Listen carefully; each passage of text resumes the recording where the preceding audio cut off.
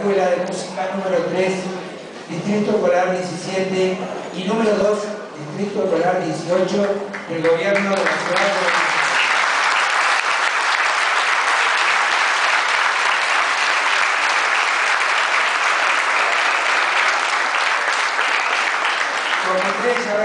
de la orquesta está integrada por jóvenes músicos